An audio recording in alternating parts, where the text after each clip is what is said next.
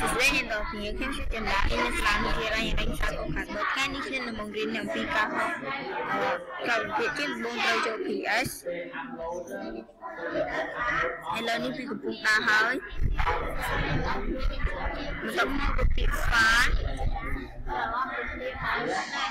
ចុចយកពាក្យ open បន្ទាប់មកអឺយើងវានឹងបានទិញទិញរូបភាពនេះអញ្ចឹងចូលចូលបានរូបភាពនេះ វានឹងបានមកដល់ហើយតមកយើងចុចទៅពាក្យតមកយើងចុចថ្ងៃនេះដើម្បីក្រង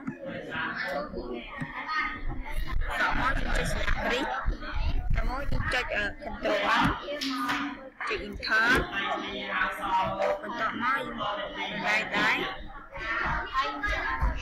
តអូនចុចមកស្ដាំវានឹងបានមានរង្វង់មូលនិង ការ៉េឧទាហរណ៍ចុចបានរង្វង់មូលខ្ញុំទាញវាតមកខ្ញុំចុចកន្លែងកាត់ខ្ញុំមកសំពត់ទៅលើវាអូមកកន្លែងចុចនេះបន្តិចព្រោះមកដល់នេះខ្ញុំប្រឡេងបាទការស្ដាច់សុំបាទ